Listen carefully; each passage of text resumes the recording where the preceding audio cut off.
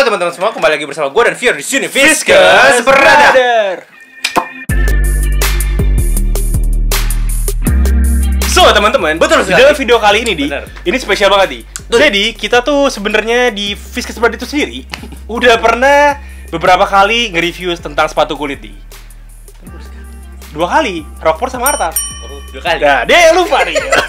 Oke, ber- back to the Betul. topic aja. Betul. Jadi gua ini kemarin nih baru beli sepatu kulit lagi di. Betul. Ini kalau udah ngomongin lokal, ini pasti dari Bandung lagi di. Bet- Iya iyalah. Iya. Gimana lagi ya? Iya, Lokal betul. pasti Bandung. Bandung gitu. kan. Karena ya reasonnya jelas sih. Karena Betul. bar- raw material tuh banyak di Jawa Barat, di Jawa daerah Barat ya. Sukabumi betul sana. Betul. Dan kalau kalian penasaran, so Betul. check this out. Jadi teman-teman, Javier ini udah sikat Betul. sepatu merek Sepatu Kenzios. Merek, merek, merek, merek Kenzios. Betul, sepatu kulit. Betul, yang di mana untuk harganya sendiri di ini di under 400 ribu. Gue beli ini di 378 ribu. Nanti Ya. gue kasihin aja gambarnya. Betul, kalau kalian harganya. ah, kalau kalian misalnya udah lihat dari thumbnailnya sih kelihatan jelas ya dari Betul, segi sepatunya. dari segi siluet Itu udah tuh- kayak betul. Doc Mart versi lokal nih. Betul. Atau bilang Doc Mart versi, versi light lah, Bukan. versi light. Dokmar rasa lokal. Nah, Anjay. itu dia. Rockmart Dokmar rasa lokal, mantap gitu. Oke, di dari packagingnya sendiri Ah. untuk di depannya ini Betul. ada logonya Kenzios dan juga tulisannya. Sedikit mirip swooshnya Nike. Enggak, ini mirip logo Rexona. Ya, sih. Rexona. Atau enggak, Apa? enggak, enggak. Jadi bahaya. Dan di tengahnya ini di depannya ini ada logonya dia ini Kak. Dan di samping kirinya cuma ada tulisan good shoes for good people Betul. dan samping kanannya cuma ada sizing doang dan ini gue mesen 42 tapi di boxnya 43. Tapi hasil sepatunya itu 42. Jadi aman lah. Tapi yang gua nggak suka adalah tempelan gini. Iya, harusnya ya ditulis lah kalau Tempel aja gini, teman-teman. Kayak sep ya tahu Ya lah. udahlah, apalah. Mungkin mas. Yang penting ah, barangnya di. udah tempelan tapi Betul. salah. Dan oh di sini kita dapat greeting cards-nya. Ya, betul sekali. ini kayak terima kasih telah membeli produk kami bla bla bla bla dan langsung aja ke Mhm. Tunggu dulu, main- tunggu kenapa? dulu. Ini ada catatan perawatan sepatunya. Oke. Dan for your information, dia ada garansinya, teman-teman. Betul sekali. Dan kalau kalian penasaran gimana ngerawatnya, ntar kita fotoin aja. Nih. Oke, Ya. itu dia. Terus juga ini kalau nggak salah nih gue bacain aja ya. Eh, jika ukuran atau size tidak sesuai dengan kaki diperbolehkan untuk menukar size yang sesuai. Oke. Betul. Oke. Apabila produk yang diminta eh yang diterima terdapat masalah perusahaan, reject dan lain-lain, produk langsung kami ganti dengan produk yang baru. Wah. Catatan produk belum digunakan keluar atau ah, dan produk dikirimkan kembali maksimal dua hari setelah barang diterima Oh, konsumen. berarti belum dipakai dulu ya. harus. Betul. Oke. Mendapatkan garansi perbaikan secara gratis selama 180 hari, coy. 180 hari. Hmm. Jika ada masalah dengan produk. Berarti 6 bulan dong. 180. Iya. Iya, 6 bulan. Wah. Ini. Nah, ini. Ini, ini nih. Apabila sepatu tidak memuaskan, sepatu boleh ditukar dengan model lain atau dikembalikan uang atau refund. Catatan maksimal 3 hari setelah barang diterima konsumen. Oh, udah lewat. Udah lewat. Jadi for information aja teman-teman, ini sepatu sebenarnya udah kita terima sekitar Tiga minggu yang lalu. Ya, ya tiga mingguan lalu. Dan jujur gue udah pakai ini sepatu udah dua, kali lah, dua kali. Jadi mungkin nanti kita akan nge-reviewnya agak deep Betul. Langsung kita buka sepatunya. ambil sepatunya. Ini dia kotaknya kita awasin dulu teman-teman ya. Untuk dari segi kotak biasa aja sih teman-teman. Ya, Cuman dan ini namanya sepatunya ini yang series Alpha. Dan dia bukan cuma keluarin series ini Ya, doang. betul Kalian sekali. bisa lihat nanti di di Instagramnya atau di website ntar kita pop up pop up lah di sini. Ya, pop up- pop up sini. Betul. Dan seperti kalian lihat, ini sepatunya yang series Alpha ukuran 42. Hmm. Jadi ini di yang gue tahu dari Kenzios ini. Betul. Biasanya itu sepatu-sepatu kulit lokal itu pakai ba- pakai baju lagi. Pakai bahan. Pa- pakai bahan, pakai bahan eh, dari eh, kulit kuda gitu loh. Hmm. Eh, kalau dia ini dari kulit sapi nih, Hmm. yang di mana sedikit lebih tebal tapi ketika kalian pakai itu nggak nggak apa ya, masih sama kayak kulit kuda lah gitu, betul. mungkin dari segi material pun akan lebih murah kulit sapi. Mungkin ya, mungkin, betul. mungkin, betul. bener dong. Bener, bener, mungkin. Dan Dan kerupuk kulit berapa? iya, bisa seratus ribu ya Sar, kulit. Harga kerupuk kulit. Kerupuk kulit. Oke, Nah, di terus? back to the Ah, topic aja. betul Ini sekali. dia pakai full leather ya Betul. dari bahan sapi. Ah. Dan juga kalau kalian bisa lihat ini udah ada scratch-nya gitu karena ya seperti yang gua Dan tadi nge-crash teman-teman. Iya, betul. Nge-crash. Nah, sebenarnya eh, kita Di sini juga nih. nanti aja kita Iya. bahasnya. Kita bahas dari material dulu. Material dulu. Kalau dari midsole-nya, ini midsole ya? Iya, Ini midsole. midsole, ini outsole ya, Outsole, outsole, outsole. Sama tidak di Iya, betul sekali. outsole dari outsole teman-teman dia pakai bahannya karet, rubber. Karet. Dan- Jadi rubber rubber yang keras gitu teman-teman. Iya, dan dia kayak Mika sih bentukannya. Ya, kelihatan kayak- Mika. kelihatan kayak Iya. Mika, dan Soalnya dia na dinamain itu rubbernya dengan nama TPR outsole. Hmm. Dan untuk midsole sendiri Yes. ini dia make teknologi katanya yang namanya tuh EP foam. Jadi EP Yeah. foam itu kayak gimana gue jelasin? Kayak ultraboost lah. Jadi bikin nyaman. Tapi setelah gue pakai ya nyaman hanya untuk dua jam doang. Ya, tapi ya sebenarnya sepatu ini tuh tidak mengincar kenyamanan menurut betul, gua. betul, betul. Karena ini kan suatu formal Formal benar. yang bukan untuk kalian harus berjalan gunain daily lah jalan- gitu. jalan-jalan lama Iya, atau betul itu. sekali. Kadang kan beauty is pain juga. Bener juga itu dia, Itu beauty dia. is pain. Kadang tapi ya Iya, teman-teman. Oke. Oke, Eh, kalau tempat kita mention tadi awal-awal, eh, kalau sepatu ini kan mirip siluetnya Dr. Doc Martin. Mart, itu bener banget, udah kayak Dr. Martin banget. Cuman memang stitchingnya nggak dibedain warna. Bener. Oh, enggak di. Biasanya stitching. Dia ini jadi gini teman-teman, eh, for your information aja, Hmm. gua pas beli ini, Hmm.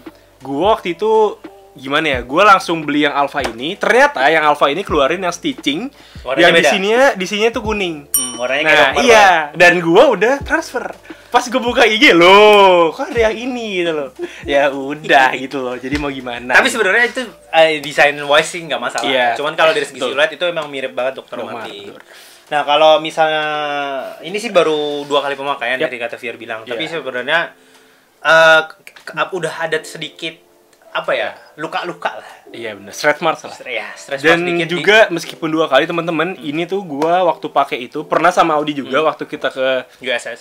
Ur- Urban Sneaker Store dan juga kita bikin protes sinematik untuk sepatu Urban ini. Store. Eh, Society, Urban Sneaker Society.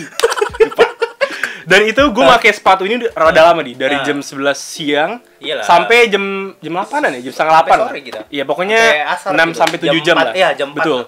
Dan kalau kalian mau tahu Hmm. hasilnya gimana di kaki gua, Hmm. 1 sampai 2 jam gue bilang ke Audi, oh ini enak nih. Betul. Enak banget, nyaman. Tapi gitu masuk ke jam ketiga Sudah menyiksa. lecet lecet kayak Wah. gue padahal itu gue pakai kaos kaki yang lumayan tebel gitu Tapi masalah hal, hal kayak gitu tuh udah common sih untuk Iya. untuk pakai sepatu kulit tapi kayak gini. gue rada bingung sih di sama sepatu sepatu kulit lokal gitu gue pernah punya sepatu kulit lokal juga yang namanya Artap gitu itu gue lecet juga ini gue di kaki gue lecet juga sedangkan gue pakai kayak Rockport Crocodile dan lain sebagainya kaki gue nggak pernah lecet yang gue bingung tuh kenapa yang lokal tuh selalu lecet di bagian sini tuh gitu Ah, Gitu. itu masih wajar ya. Kan banyak emang kalau pakai sepatu baru tuh sini di sini orang kan masih lecet. Kalau gue bilang sih masih kayak menyesuaikan Ya, kaki. iya sih minor sih Nah, tapi minor. Cuman ganggu iya. sih sebenarnya gitu. Sebenarnya memang ganggu teman-teman. Apalagi emang di sepatu kulit tuh udah udah pasti banget. Yep. Pasti mengganggu karena di sini masih kasar gitu loh. kaku dan kasar Kas- masih kaku dan kasar. Tapi memang banyak sepatu kan makanya sepatu-sepatu kulit yang harganya lumayan mahal itu. ya 500 up lah Enggak 500 up lagi coy, 1 juta, 2 Sejuta juta, deh, ya, eh, 2 oke. juta up itu eh di sininya tuh pasti mereka akan Lunak. kasih yang bantalan atau apa gitu Iya, yang benar. memang meminimalisir kaki lecet. gesekan ya minimalisir Hmm. gesekan Tapi hal kayak gitu tuh udah common untuk ya pemakaian minor sepatu sih sebenarnya Nah, minor sih tapi ya itu kan untuk sekedar Hmm. informasi aja gitu loh nah, dan dari segi weight sebenarnya ini lebih ringan sih menurut gua daripada Benar, pakai dokmar. betul Do- dokter gua- sih emang ini sih dia berat Nah. sekali Nah sejujurnya sih gue belum pernah pakai dokmer rasanya seperti apa. Cuman yang gue cuma dapat informasi dari teman-teman gue Hmm. sih yang pernah pakai dokmer, memang sepatu itu ya yang gue bilang tadi bagus untuk Ya, looks. beauty is pain Ya, beauty itu is dia, benar. gitu. Jadi ya gue ya itu, itu kembali ke selera sih sebenarnya teman-teman. Hmm. Tapi kalau mengingat harganya di di under 400 ribu, Ya. ya ini worth it sih untuk kalian beli gitu loh. masih kalau gue bilang bisa jadi alternatif kalian Betul, untuk bisa betul. untuk beli Referensi Eh, lah ya, referensi benar. Kan misalnya kayak dokmer kan pasti kalian mau pakai di acara-acara tertentu. Betul. Nah kalau misalnya kayak buat daily Iya, atau ke iya, kantor dan sebagainya, Atau ini- nongkrong-nongkrong lucu lah, bisa pakai ini. ya gitu. masih bisa lah kayak gitu Betul. untuk pak untuk jadi mis ibaratnya ah biar gak sayang aja Iya, dokternya benar. gitu Ah. Atau kalau kalian ke nikahan mantan gitu, pakai ini oke juga gitu kan. Betul gitu Pak? Betul sekali.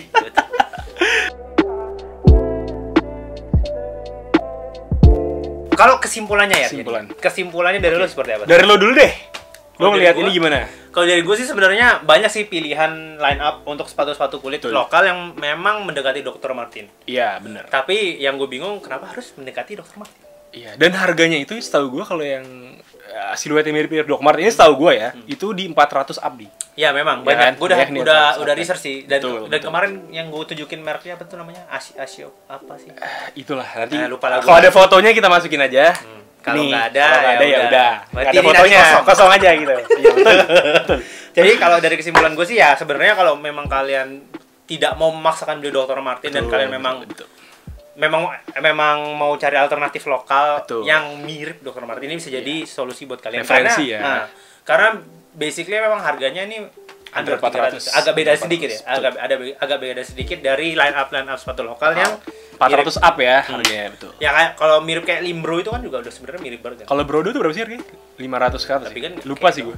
Enggak, maksud gue kalau Brodo tuh berapa harganya? 400-an 400-an ya. Nah, 400 sampai 500 tapi tapi kalau Brodo sih ini sih udah kayaknya banyak deh review yang kalau Iya. bilang sepatu ini durability-nya tuh kurang Sama Guten Ink juga tuh.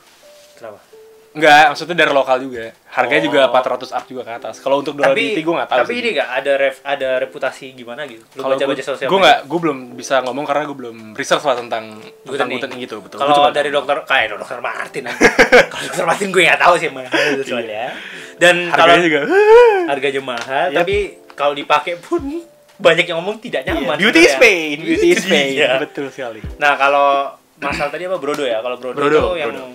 Yang tipikal seri kulitnya emang menurut gue sih oke sih. Iya, benar. mereka bisa mereka tuh bisa ngasih solusi sepatu kulit dan sebenarnya gue suka sih maksud nggak terlalu tebel bawahnya. Oh, gue nggak tahu sih belum pernah lihat langsung dan belum pernah megang gitu. Oh gitu ya, belum terlalu Nah, cuman kalau dari kan gue nggak jadi beli itu karena memang di lini 400 sampai 500 ribu tuh gue masih mikir kayak kok kurang gimana gitu. kurang ya. Oke. Nah, nah, tapi ternyata emang dari review teman-teman gue yang gue tanya-tanyain sih emang pakai apa tadi namanya? Brodo. Brodo. Brodo.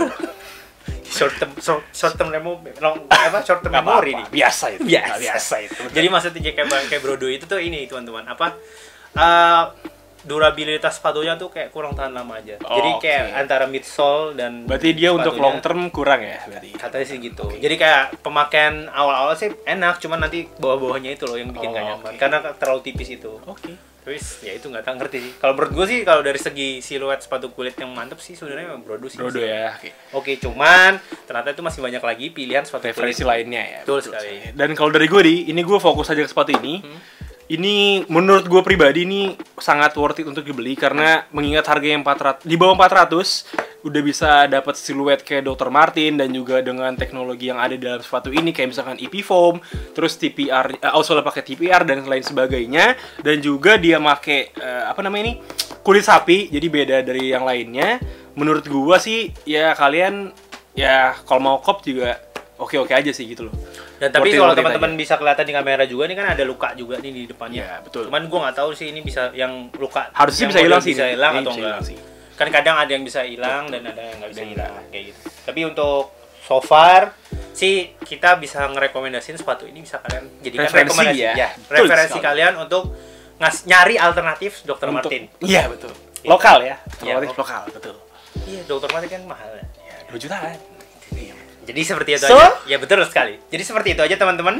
Pembahasan mengenai sepatu Genzios ini. Kalau misalnya kalian suka dengan sepatu ini nanti kita akan kasih linknya di bawah. Betul, di deskripsi. Supaya memudahkan kalian untuk membeli sepatu ini. Betul sekali. Gitu teman-teman. Jadi itu aja video dari kita. Kalau kalian memang suka jangan lupa like, share, dan subscribe. Seperti biasa ya. Dan jangan lupa follow Instagram kami Di @Fiskus_Brother. Gua Fia di sini. Wow di sini. We see you on the next video selanjutnya. Bye. Dadah teman-teman. Boom.